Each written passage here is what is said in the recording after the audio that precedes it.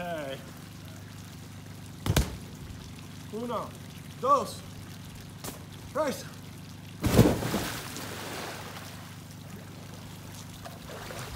Woo! Oh. Fully embracing my semi-aquatic lifestyle.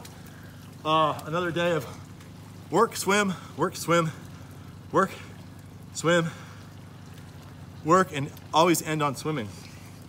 So that's what I recommend, especially when it's hot, even when it's not. All right, what do you say we talk about bananas? Come on, let's go. Let's talk about bananas. We're gonna go bananas and talk about bananas. Look at the banana. Look at the banana. Planted this thing. A friend of mine gave me this thing. Oh, probably about uh, two years ago as a little, maybe three, little tiny nothing. Said it's the best banana there is. I believe him. He knows what he's talking about. So, his name is Jeff. What's up, Jeff? Thanks for the banana. Uh, anyway, he was right. It's super awesome. I haven't eaten the banana yet, but I'm getting there. Uh, this thing is, uh, I'll have to propagate it soon. First, right now, we're going to trim it for the very first time. So I'm going to do a before and an after. This is the before. Wait for the after. The after picture, how about that, huh? Nice, pretty trimmed up banana tree. Uh, I suggest if you're going to trim your banana tree up, you use a serrated knife, kind of like this. And if it comes from your kitchen, then I recommend not telling your wife and putting it back without her knowing you used it. So, um, just my personal uh, recommendation there. So, anyway, you want to get in tight, make it look really neat, you know, make these nice, neat cuts as tight as you can to the trunk, peel off some of the garbage on the bottom, keep those neat cuts going all the way up, and you end up with a really beautifully neat uh, tree, just like this one here. And I mean, look at this. It's like, I also suggest people that want tropical gardens plant these things amongst their rare palm trees. I have some very rare palms growing in here. They're going to take a long time to grow up. They're starting to take off. But in the meantime, I'm fully satisfied my palm tropical craving by putting this banana tree in.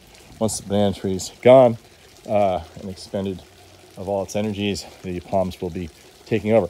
Anyway, so there's a little surprise in here that I want to tell you about. My daughter wanted me to make a video, so here it is. This is for you, Rhea.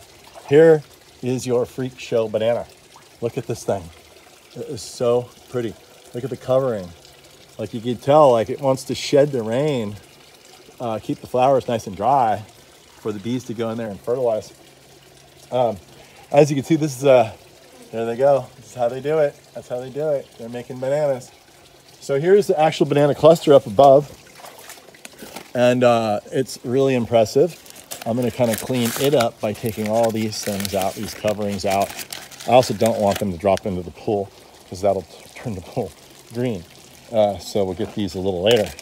Now these coverings are kind of cool because you can actually use them for different things. The thing that I like to use them for the most, when you turn them inside and out like this, um, they make for really, whoops, hold on.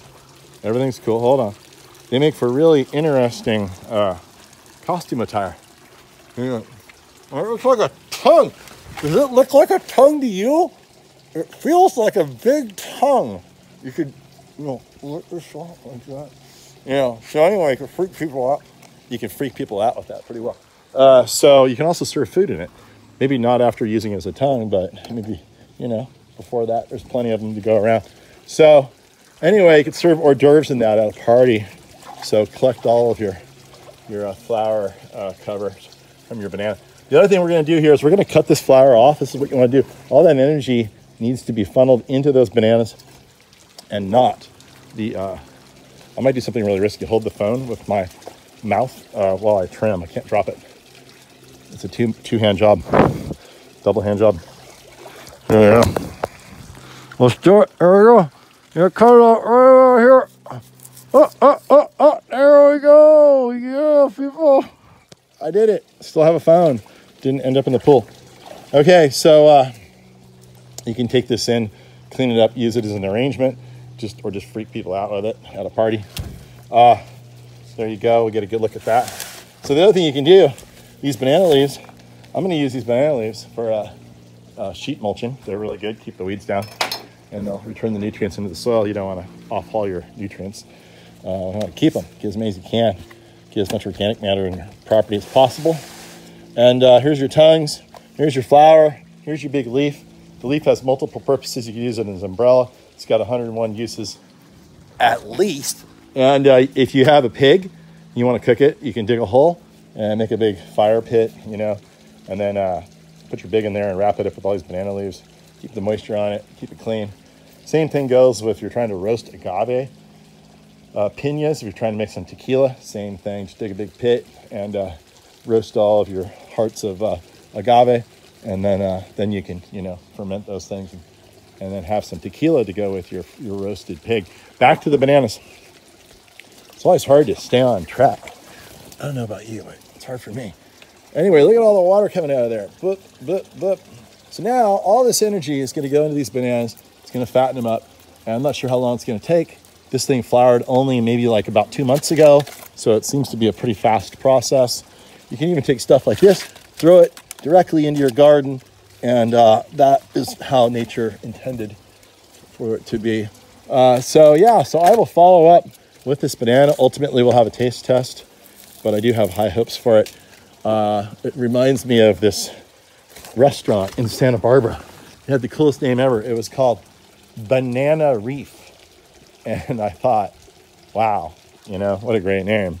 But then as you learn about where bananas grow, they don't really grow on reefs or even adjacent to them, unless the reef is protecting a big swampy area uh, from erosion where the type of soil that the banana actually likes to live in. So we're gonna get one last shot of the fruiting bananas and all that.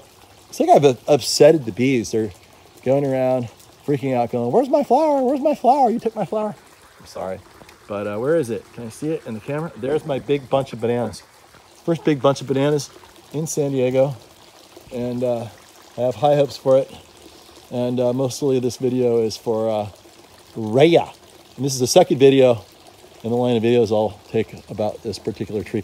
Eventually, we will propagate all of the babies off of it and uh, moving them up to the nursery. So you yourself can have this exact clone in your garden. Have some bananas. Bananas. Where are they? There they are. It's really bright out. Can't barely see the screen. Bananas.